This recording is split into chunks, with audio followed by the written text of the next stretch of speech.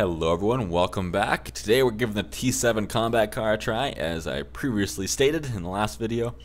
And this thing, I did a little bit of research about it online, just very briefly Google image, Google imaged? Google imaged, yeah, we Google imaged it. And what I discovered very quickly was these things are not just rollers like you see in every other tank. You see how these are, they're more or less, this is, this is a bad comparison. I'm going to get flamed for saying this by you guys, but they're more like train wheels. you guys are gonna hate me for saying that. You're gonna be like, no, they're completely different. They're both on tracks, but a train has a different kind of track. Yeah, I, I know, I know, I know. In a way, it's kind of similar, though. You have to admit. But anyway, uh, so the combat car, it's actually got wheels, wheels, wheels. So you can take the track off and run it without the track, and it'll work fine.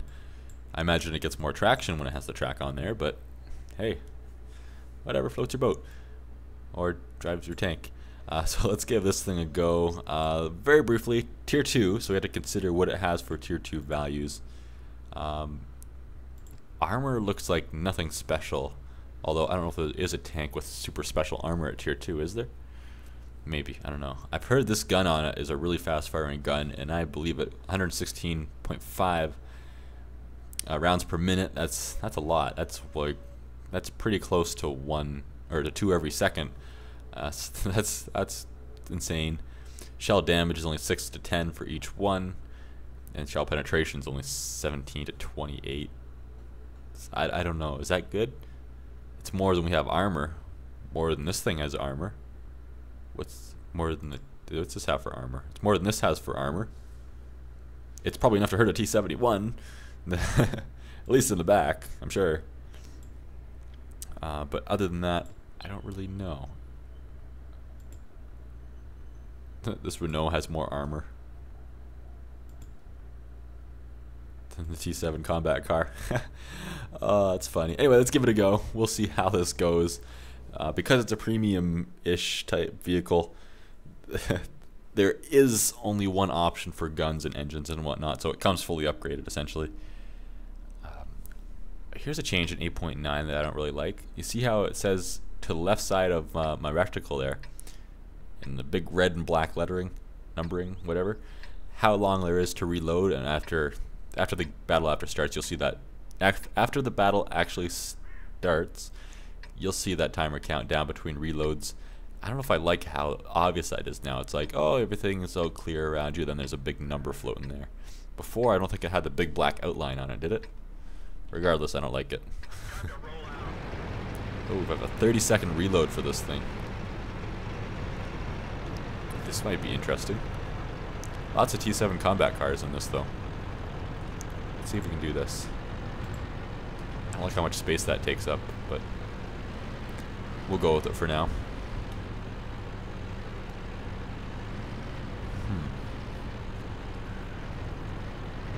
I wonder if people like the T7 combat cars. I've heard mixed feelings personally, but I've only heard about it from like two people, so. The tracks look like they go pretty far back compared to the rest of the tank. I wonder if that was something they did intentionally when they designed it. I mean, when I say they, I mean the developers of the original tank in the 1900s there.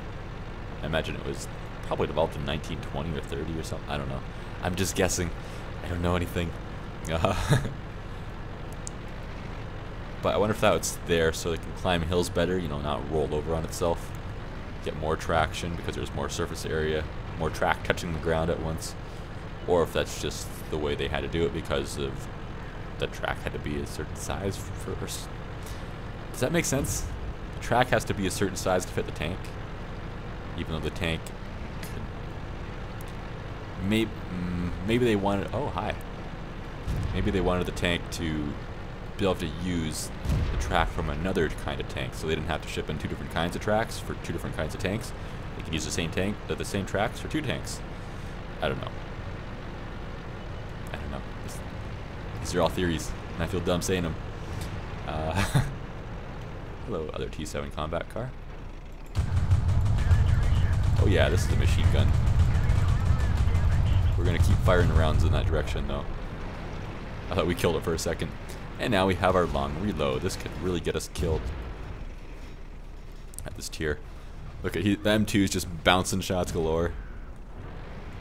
I don't really want to go in there yet because, well, reload times. Wonder how much damage I can do in one clip. Let's move in. I think we're safe now. I think this guy's the only guy left up here. Oh, did I say we were safe? I meant he's only going to shoot us 18 times in the next second. Okay, we're going to foolishly peek over the hill. Probably a really bad idea. But we're going to get him. We got him. Now we're reloading. Oh, we're going to run down there? This seems really dumb, especially since I'm reloading. It's okay. I'll follow the tier 2. we in trouble over there. I'm going to try to take up the flank. Uh, come up behind these guys. I'm scared of that T-18. I'm pretty sure he has a nasty gun.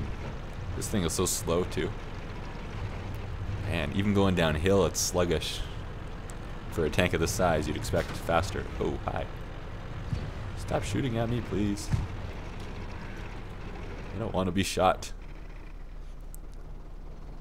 I feel like I bounced a fair amount of shells, though, when that other T7 was opening up on me. I'm trying to look at all the ricochet marks now, and I see a couple ricochets, a couple penetrations.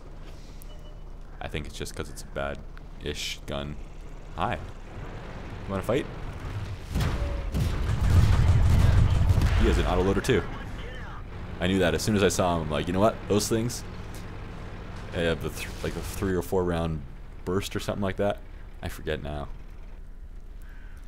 Hmm. Well, we got him down to half health at least.